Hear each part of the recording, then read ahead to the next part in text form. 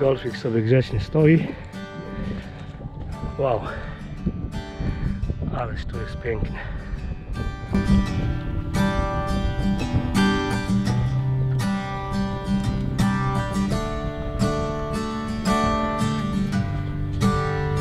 Czuję się prawie jak BNT.